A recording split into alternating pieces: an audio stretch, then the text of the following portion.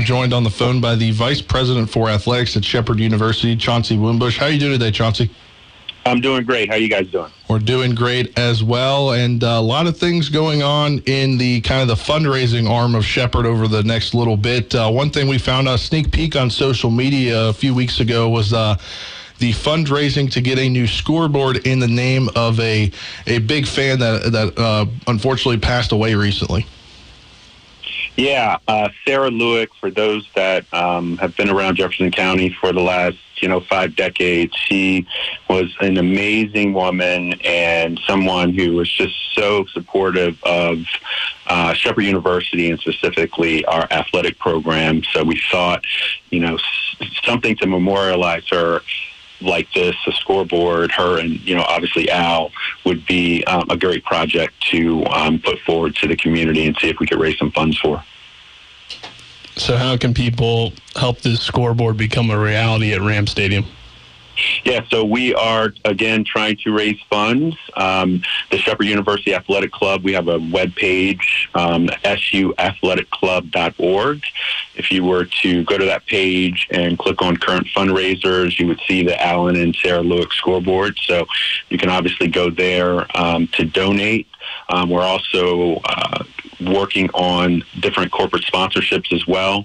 On the board, there would be opportunities for static advertising. So, you know, I think that's one of the great um, parts of this whole process that it would give Shepherd University Athletics another asset that we could potentially use to raise funds in support of our athletic program.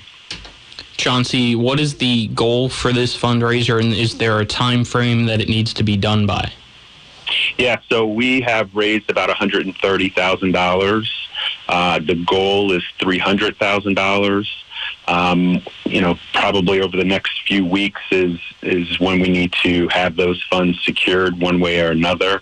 Uh, the goal is to have the board in by our first home football game on September 2nd. So the clock is ticking, and you know, kind of time is running out to an extent. But you know, that's kind of where we are right now. So, in replacing the scoreboard there, would you place it exactly where the old one is, or move it to a different location in the stadium? Yeah, we're we're still kind of bouncing around uh, the the perfect spot for for the board. Um, so obviously, you know, on top of Boone Fieldhouse is is one uh, one place that we could put it. I think the concern there is you know, we're hoping to uh, do some renovations down the road to Boone Fieldhouse. So we would be concerned about, um, you know, having to deal with the scoreboard and, and all of that stuff. On the opposite end of the field, um, kind of where those those trees are on the other side, if you will, is probably the ideal um, spot for for the board. It would give everybody inside the stadium, you know, a pretty solid view um, of the new scoreboard. And again, this is going to be, you know, an LED board. So we, you know, are excited about the potential for you know replays and you know some interactive stuff with with the crowd and you know all all of the good things that come along with that type of technology. And Chauncey, uh, you know, scoreboards in college football are becoming a recruiting tool. I know Marshall is getting a new scoreboard. Theirs is going to be, I think, 1.2 million, which seems you know crazy to a lot of people down there. Uh, but for D2 level and for you guys, how do you think it will help in the recruiting aspect as well to get a new scoreboard? Um, you know, I, I think that our stadium is, you know, a, really great facility, you know, in comparison to, you know, the other institutions within our, our region. You know, I think our, our, our facility is right there. I think the one thing that we're absolutely missing is is a scoreboard. So, you know, to be able to utilize that, you know, and enhance the environment from a game day standpoint is, you know, really the goal after all. And then from a recruiting standpoint, you know, I, I'm sure a lot of the high schools that we are recruiting student athletes from, you know, they probably have some decent boards as well. So we just want to make sure that we're putting ourselves on par with, you know, the type of kids that we're recruiting and certainly on par with, you know, our opponents uh, and competitors within the region. Chauncey, going to switch over to some improvements for uh, soccer now and get your comments about that. Yeah, so we have a, a smaller uh, fundraiser going on. It's a fifty thousand dollar fundraiser that would um, allow us to bring some backstop netting um, to the to the stadium some covered benches. Covered benches is something that is, you know, kind of status quo at a lot of institutions and a lot of a lot of fields. Uh, that certainly would help with weather, whether it be rain or, or sun and, and things of that nature. And then just some branding around the, the perimeter of the facility. So again, that's a sixty thousand dollar project that we're attempting to raise dollars for in support of our men's and women's soccer programs. And Chauncey, we've basically finished the 2022-2023, you know, athletic year. Uh, what's kind of the state of Shepherd Athletics heading into this next school year? Yeah, so we um, are, obviously excited about you know everything that's been going on. You know, from a, a football standpoint with you know Tyson and, and Joey and Ronnie and, and Brian, and um, we're you're hopefully feeding off of that from a recruiting standpoint with regards to football.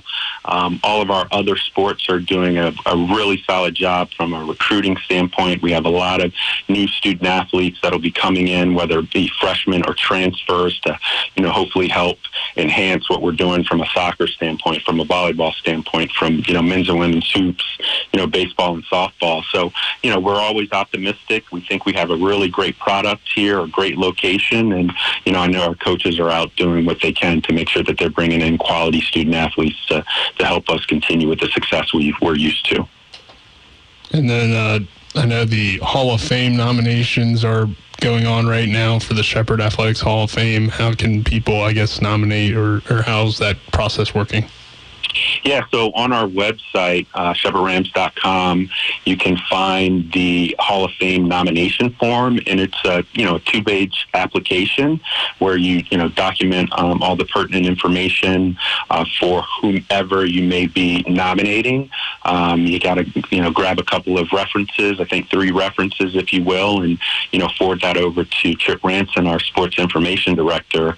Um, a couple of couple of weeks into June, the Hall of Fame committee will sit down and we'll take a look at you know the list of uh, nominees, and you know we we um, will we'll, we'll pick three, four, or five folks that are deserving to to be honored in that way. So that's always something um, that's really interesting that we get to do in the summertime as well.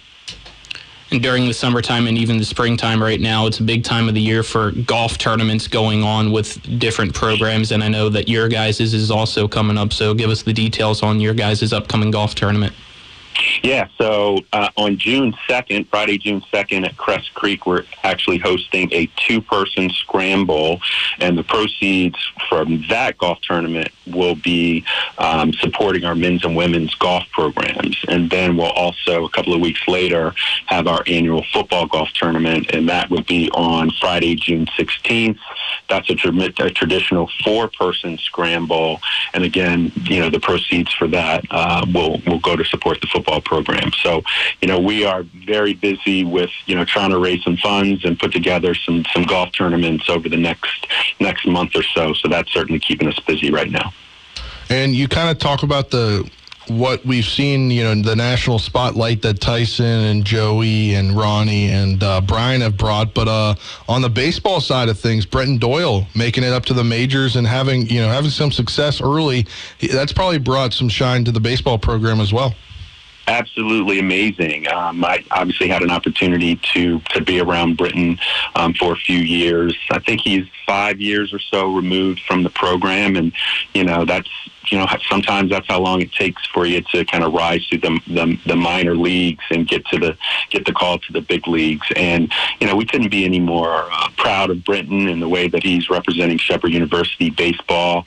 You know, I know uh, Coach McCarty and Coach Smith. They've been to a couple of games already. When I think they went to uh, Cleveland and they've been up to Pittsburgh to, to check them out, and it's it's just really really awesome. So to again to continue to have some success on the professional level for you know student athletes that attended you know Shepherd University is is just amazing. And Chauncey, is there anything else that we missed that you'd like the audience to know? Um, you know, outside of all these great um, opportunities to support Shepherd Athletics, there's another event that we'll be having um, late summer. It's called uh, the Ram Fest, and it's, a, it's an event that is co-sponsored by the Shepherd University Athletic Club and the Rotary Club of Shepherdstown. We come together for an evening event on August 25th, which is also a Friday. Um, it's held at the Bavarian Inn. It brings together, you know, Shepherd Athletics, um, Rotarians, local businesses, um, the, the SUAC as well for just a really, really neat event. Great food, great beverages, and again, an opportunity to, to continue to support uh, the Shepherd University Athletic uh, Department. Chauncey Winbush, our guest. Chauncey, thanks for the time, and we look forward to talking to you soon.